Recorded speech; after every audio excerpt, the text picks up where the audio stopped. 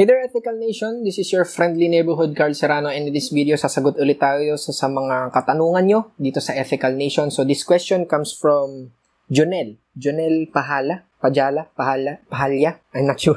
So, ang tanong niya, ang problema ko ngayon, oras kung paano ko mabibigyan ng oras ang business ko kasi trailer truck driver ako. Hindi nga ako makakasama sa mga training or team building kasi nasa biyahe lagi. Paano po ba kumita sa online business circle? Salamat sa sagot.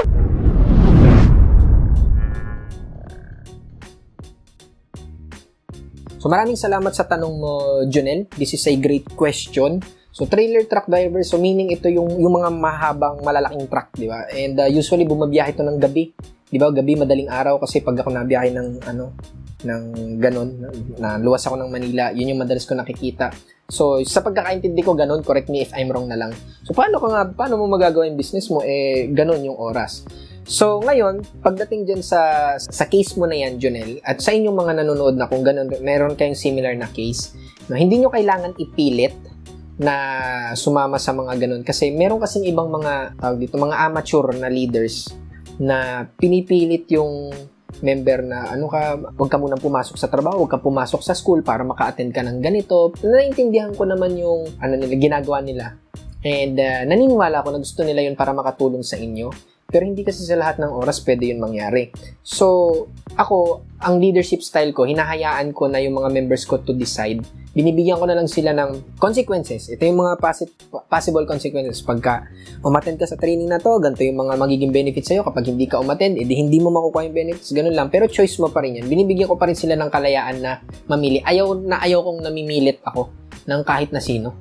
No, kapag ayaw nila, edi ayaw mo, hindi kita pipilitin. Sa case mo na yan, Jonel, kaya ang kailangan mong gawin is matutunan mo talaga na mag sa online. Okay? Kasi kung hindi ka talaga nakakasama sa mga ganung training, kaya dapat yung mga uplines, kaya mga uplines baka similar situation, di ba? Paano gagawin? Hindi makattend yung mga downline ko sa sa mga training namin eh di kailangan naka, meron kayong training na pwede para sa mga ganong klase ng uh, members. Noong nagsimula ako sa network marketing, this was 2014, na-realize ko, hindi pala na-realize, naisip ko, nagkaroon ako ng idea na what if magkaroon ako ng mga training, yung mga training namin na pwedeng mapanood ng mga members namin anywhere, anytime, basta may internet connection sila, lalo-lalo na kasi para para yun sa mga part-timer, para sa mga nagtatrabaho, sa mga FW, sa mga estudyante, para hindi na nila kailangan pumunta ng office.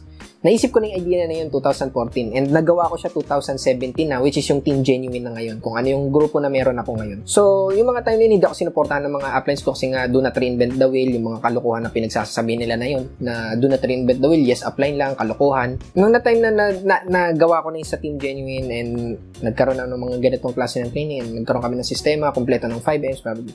Marami na talaga, dun, that's the time na talagang dumami yung natulungan ko na kumita sa online kahit mga part-time o OFWs. May mga OFWs na ako na napag for good. Mayroon mga akong mga empleyado na napag full-time na sa negosyo kasi di na nila kailangan yung trabaho nila kasi mas malaki na yung kinikita nila sa negosyo. Marami na ako nagawa na ganun sa grupo namin. Ang point ko dito, kaya ko to sinasabi, is hindi lang naman kasi yun ang option, yung mga offline training. Lalong-lalo na ngayon, this today is, ginagawa ko tong video na is December 2020 Lalo-lalo na ngayon, may pandemic pa din, may mga quarantine pa din na places na katulad nung sinasabi ko palagi na ang online marketing is hindi to option, dapat ginagawa na to. Hindi na to optional. Ang offline ng optional, hindi online marketing. So, kailangan matutunan nyo talaga kung paano kumita sa sa internet. And kung ano yung ginagawa nyo sa offline, gagawin nyo lang naman sa online, ganun lang naman halos, halos ganun lang naman talaga.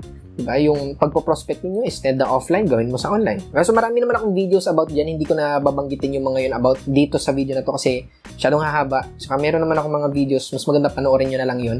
So, yun ang kailangan nyo, Jonel. At para sa inyong mga part-timer dyan, kailangan mo na matutunan ko paano kumita sa online. Kung hindi willing i-provide ng mga uplines mo ng team nyo, andito yung YouTube ko. Panoorin nyo lahat yung mga nandito, tapos gawin mo. Di ba? Yun nga yung pinakang purpose nitong YouTube channel na to, yung Ethical Nation, yung movement natin. Meron kayong option. And open to para sa lahat, kahit sino ka man, kahit sang kumpanya ka man kabilang, wala akong pakialam doon.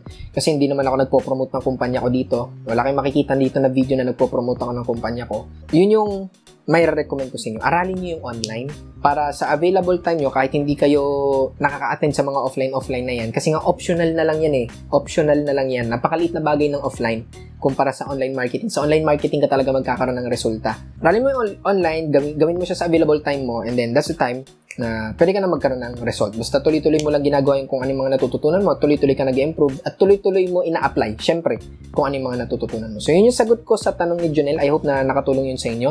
Question of the day, ano yung pinakang tumatak sa isipan mo dito sa training na ito? Comment mo dyan sa ibaba. Kung nagustuhan mo tong video na ito, i-like mo, share mo sa mga friends mo, teammates mo, sa mga downlines mo na part-timer din, katulad ni Junel, at katulad nung inyo dyan, sa inyo dyan, ng mga part-timer din, para matulungan rin natin sila. Kung meron ka rin mga katanungan para sa akin, mag-comment ka lang sa ilalim ng video na ito nung tanong mo, lagay mo kung ano yung tanong mo, and then lagyan mo ng hashtag itanong mo kay Serrano para alam ko na gagawan ko siya ng video in the future once na makita ko na siya. So as long as hindi ko pa nasasagutan yung tanong na yan or wala pa akong video na nagagawa regarding dyan, so sasagutan ko yung tanong na yan. Pero kung meron na akong naisagot dun sa tanong mo na katulad ng ibang tanong dati, magre-reply na lang ako dyan sa tanong mo ng nung link nung video na sagot dun sa tanong mo. By the way, meron akong ginawang ebook na alam ko na makakatulong sa'yo. Doon mo matututunan kung paano ka magkakaroon ng unlimited na prospect para sa negosyo mo. Makikita mo yung link sa description ng video na ito. Hanapin mo lang yung Unlimited Prospects Handbook or pwede ka rin pumunta sa website na ito na makikita mo sa screen para ma-access mo yung ebook na yon. So doon ko ituturo lahat sa iyo kung paano ka makakapag-invite, tamang pag-invite, ethical na paraan, paano ka magkakaroon ng unlimited na prospect with scripts na pwede mo nang magamit agad. So ayun, marami ka natutunan sa video na ito. Live, love, and learn. You are born for greatness.